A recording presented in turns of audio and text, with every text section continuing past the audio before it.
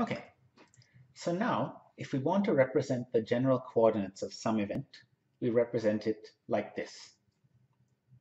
So these are what we call space-time coordinates. The first coordinate is the x, the second is the y, the third is the time, and lastly, the subscript a means this is in Alice's reference frame. So this would mean one meter along Alice's x-axis, three meters up Alice's y-axis, and half a second after the time Alice calls time zero.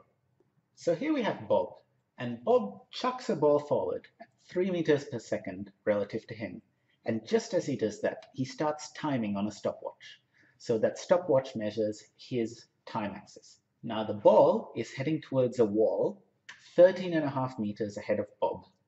So in Bob's frame, what are the space-time coordinates of the event A, of the ball leaving his hand, B, of where the ball is after two seconds, and C, when the ball hits the wall. Assume that there's no gravity. The ball just travels straight ahead without falling. Now we also have Alice standing 20 meters in front of Bob. So now she's not moving relative to Bob.